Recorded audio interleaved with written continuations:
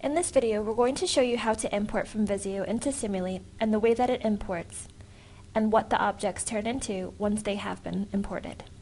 The first thing you need to do is pick a Visio diagram that we want to use. So if we go into Visio, we can see on the screen a really simple four-step Visio diagram on one page.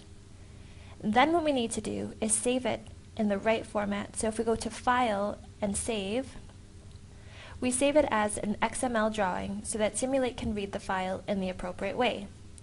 So if you choose XML drawing and save our file, remembering what we called it, we're going to come out of Visio and go into a blank SIMUL8 page.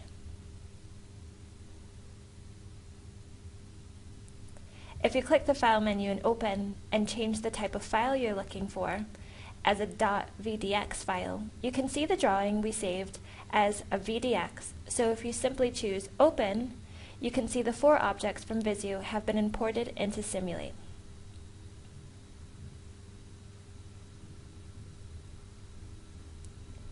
And now I can drag them down onto the main part of my screen.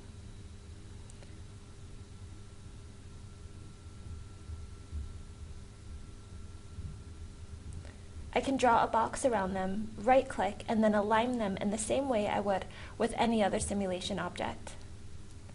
You can zoom in, and we can see the four objects which are part of the process. The next thing that we want to do is look at what kind of objects have been imported to SIMUL8 from Visio. If we click on our first object here, and look at the top of the ribbon, we can see that this has been imported as a work entry point. This is correct because the first thing that needs to happen is our simulation needs to allow work to enter the system. If we click on the next object, we can see that it's been imported as a work center. We have another work center here and a work exit point because there has to be a point where work items can leave the system. Okay, so this is all broadly correct, but we don't want this waits for server section. We want it to be a storage bin. So all we have to do is delete it and drag a storage bin onto the screen. Delete the routing arrow.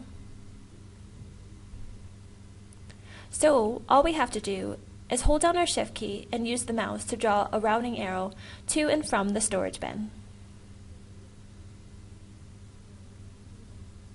All that remains to do is we need to run the simulation, and you can see it's behaving the same way as a normal simulation model would behave. We can look at the values that are attached to these. These have default values added in. The work entry point has an exponential distribution and takes an average of 10 minutes. The work center takes an average of 10 minutes as well, and there's no time attached to the work exit point. So that's how you import from Visio. Thank you for watching, and I hope you found this video useful.